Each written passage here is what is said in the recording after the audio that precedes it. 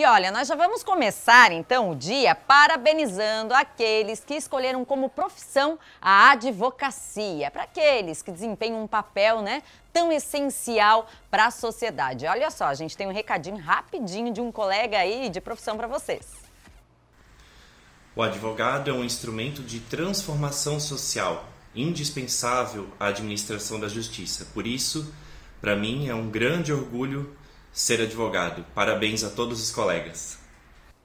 É, isso aí. Parabéns para todos os profissionais, então, advogados. Inclusive, gente, hoje também é o dia do estudante. Que nunca, né, a gente pare de aprender, de questionar, de nos dedicar e buscar sempre conhecimento. Porque na vida nós somos sempre estudantes, não é mesmo?